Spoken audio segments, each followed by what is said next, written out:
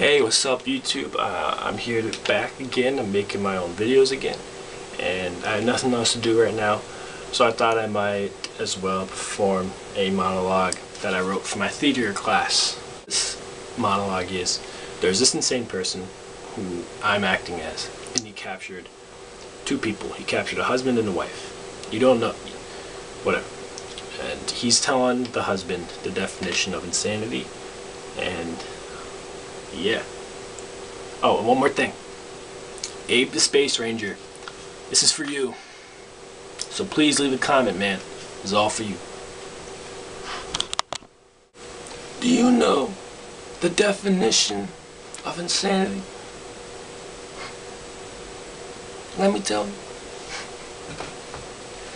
Insanity is the derangement of the mind. It causes you to do things that one would consider inhumane.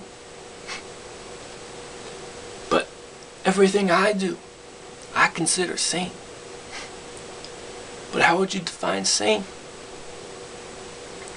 You could see me as the last person that your eyes will ever see. And that is true. And for you to truly understand what insanity is, you have to witness it. He turns to his henchman and nods. His henchman enters the other room and brings out a hooded hostage and places the hostage on the opposite chair. You know this person.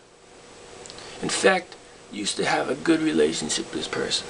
But somewhere along the line, it took a tragic turn. But eventually you forgave each other and moved on. He removes the hood off the hostage. Then five years later, you married her. Now, if you want yourself to survive, and the same goes with your family, you're going to have to kill this woman that you truly love. Now do you understand the definition of insanity?